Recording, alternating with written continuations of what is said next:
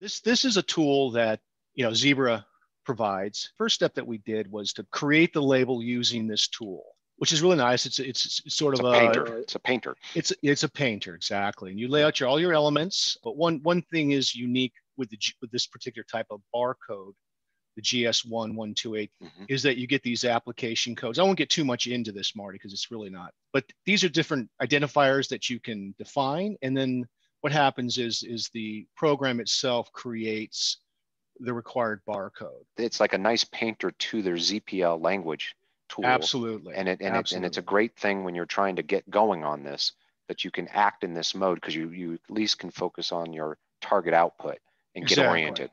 So once you've laid it out, it's very simply there's an option that, that they call print to file. So what they're going to do is they're going to take this design and they're going to Mhm. basically generate the ZPL code. And then you specify default, it's a PRN file. So we'll just save that here in this folder. Okay. That's that part of the design work. Here's the PRN file. I'm just going to drag and drop. So that's what you end up from Hmm. the from the software All right. A couple steps you have to do here to get it sort of ready is these lines up here at the top. These are just sort of printer commands. Okay. Uh, so these can be removed. Okay, because really your code starts with the XA. That Ah, this is it. the, the start, and then the XZ is the end Got it. of your ZPL code. And then we, I'm going to go ahead and save this Mhm. as a ZPL. And that's that's a raw. So I could actually send that to my printer. I would literally get this label. So now what we need to do now is we need to build our CRE profile because we want to we want to impl- we want to integrate this into uh, NetSuite because you can see if you look at the file, you can see some of our data elements here. Here's our Yeah. date. Here's Yep. our rev, Yep. which we kind of hard coded.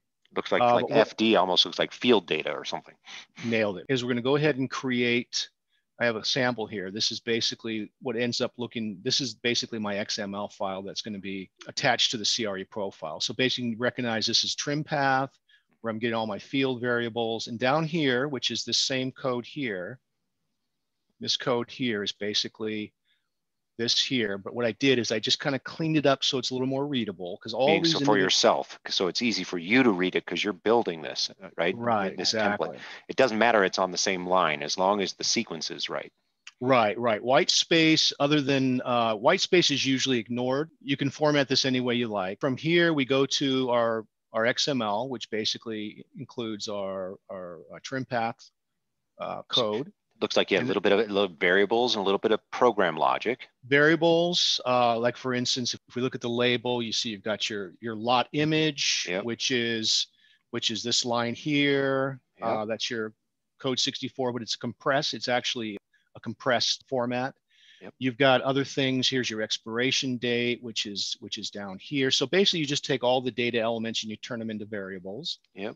Basically, you're just converting this, the the raw ZPL into like a nice TrimPath XML file. Well, this is easy to understand, and the Yeah. power the power is that that painter helped you get out all the more difficult stuff to understand to give you a head start. uh, I actually went through and and and learned what all these different Oh, you got a cheat commands sheet. are. Yeah, cheat sheet. The way labels work is that it's like a coordinate system. The Mhm. top corner here is zero zero, Mhm. and depending upon how many how many dots you have per inch, Mhm, mhm. this might be. Let's say this is an inch, and there's uh, 200 dots per inch, so this Mhm. would be zero zero, and this would be. It's a pure grid. It's a It's pure a grid, grid. exactly. It's a grid. and it's yeah. so it's the ba- based on the quality of the printer the size of the label the density you're really in a coordinate system You're in a coordinate system, yeah. The next step is really would be just to create your your CRE. I'll bring this up real quick. Yep. Kind of popping screens real quick.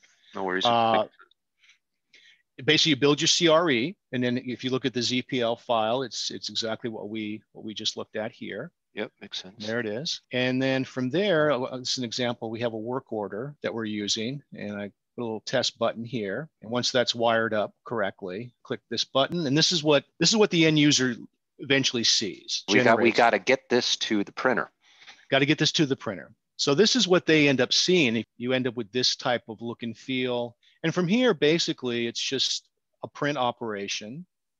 And this is this is the other piece that has to be sort of wired up is that you're basically outputting this to your printer, but you're feeding it into a generic text-only driver. Select that particular printer, click print. oh i hear it generates it. And then what you end up with, I, I create a little screen capture. This is what you end up with. So nice. this is what the output, yeah, this is really cool. And it, and it knew to do five because you had the print quantity in the whole thing. Right. I had some logic in here that if it's for how many I, you I, need. Yeah, I turned debug on, which gives me five. Otherwise, this nice. will turn out like 1500. this is the end result. I mean, it's clean, it's nice. It's really um, clean.